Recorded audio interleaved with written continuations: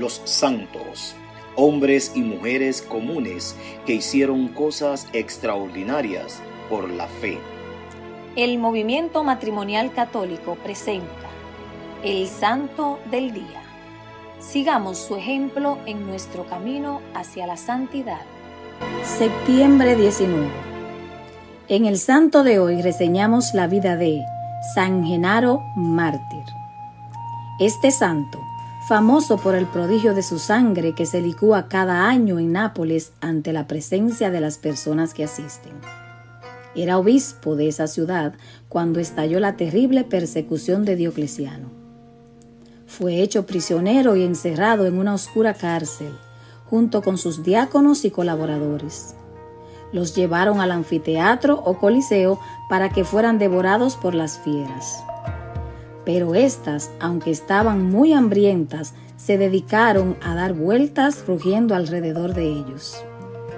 Entonces la chusma pidió a gritos que les cortaran la cabeza a estos valientes cristianos. Y así lo hicieron. Personas piadosas recogieron un poco de la sangre de Genaro y la guardaron.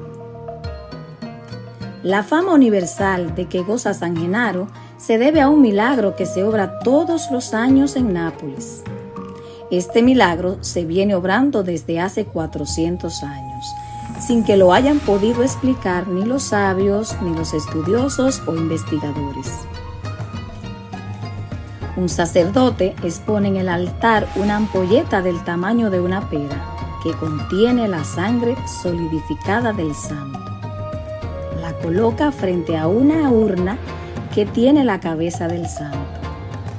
Todos empiezan a rezar y de un momento a otro la sangre que estaba sólida y negruzca se vuelve líquida y rojiza y crece de tamaño dentro de la vasija de vidrio donde está.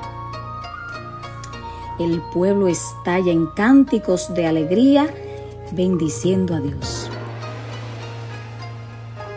La ciudad de Nápoles le tiene un gran cariño a San Genaro, porque además del prodigio de la licuefacción de la sangre, los ha librado varias veces de las temibles erupciones del volcán Vesubio.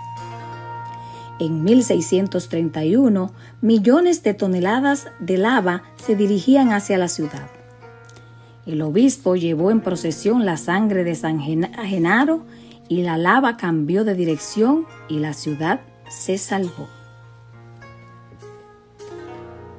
Otros santos del día de hoy son San Ábaco, San Arsenio, obispo, San Germánico, San Macario el Grande, Beato José Sebastián Pelzar, Beato Santiago Salé y Beato Marcelo Espinola.